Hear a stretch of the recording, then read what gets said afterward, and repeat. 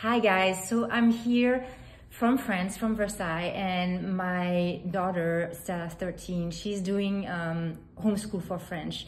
And I'm tutoring her, I'm supporting her, and I went through so many YouTubes to find just the French alphabet pronounced correctly.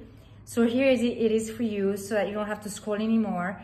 So A, B, C, D, E, F, G, H, I, J, K, L, M, N, O, P, Q, R, S, T, U, not U, U, V, W, X, Y, Z.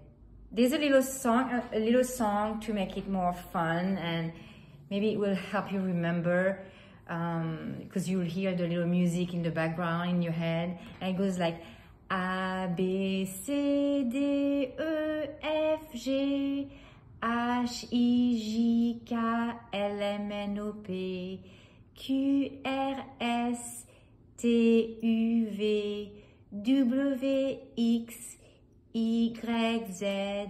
Maintenant tu les connais, toutes les lettres de l'alphabet. Okay, that's a little kid song, but it works. It's gonna stick. You don't need to know the last sentence, but just remember, just put the alphabet with the melody, and that's all I have for you right now.